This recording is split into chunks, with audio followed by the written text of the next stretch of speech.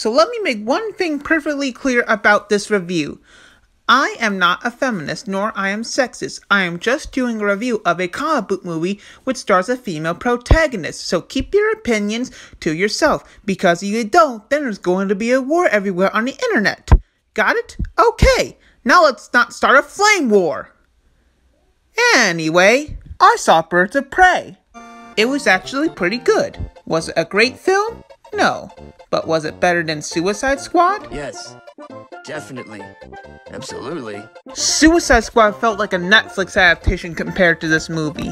It had way better action scenes, it had a way better villain, and had a way better cinematography. While it might not be a great film, I still had fun with it. Now, with that said about Suicide Squad, let's talk about what I liked and disliked about this movie.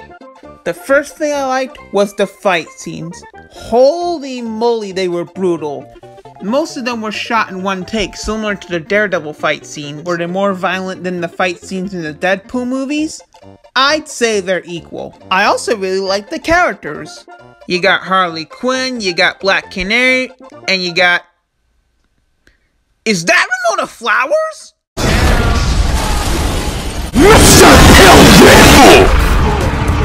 Oh, that was her. And you got our perfect villain, Black Mask. General Kenobi. He was so ruthless, so diabolical, so evil, so funny that gave me one question to think about during the movie. Why wasn't Ewan McGregor the Joker?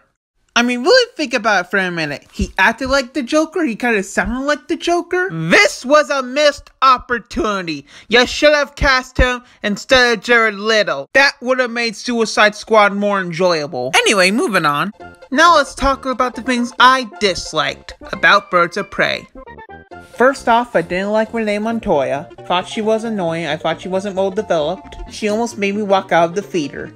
And another thing I didn't like about it was the title. Now, bear with me on this. It is a pretty awesome title, but I feel like they should have called it Harley Quinn the movie because the Birds of Prey didn't come in until the third act. Although you think about it, the Avengers didn't technically assemble to the third act of the movie, which is one of the greatest cinematic moments in cinematic history.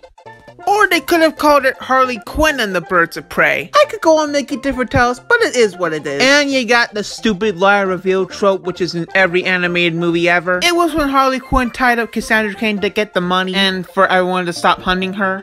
Well, if you think about it, the plot Scott Pilgrim versus the World. That's right, this movie has the same plot as Scott Pilgrim versus the World. But they're bounty hunters. Laugh! So what do I think of the movie overall? It wasn't actually that bad. If you're really into graphic violence and if you're a fan of Harley Quinn, then this movie is for you. But is it gonna dominate the box office? We're gonna have to find out after Sonic releases. Oh, and one more thing. DC, if you ever make a sequel to Birds of Prey, can you do a scene where they assemble again and they go off to fight the villain, and then Harley Quinn turns the radio, and A Thousand Miles by Vanessa Carlton plays, and they start singing? Asking for a friend.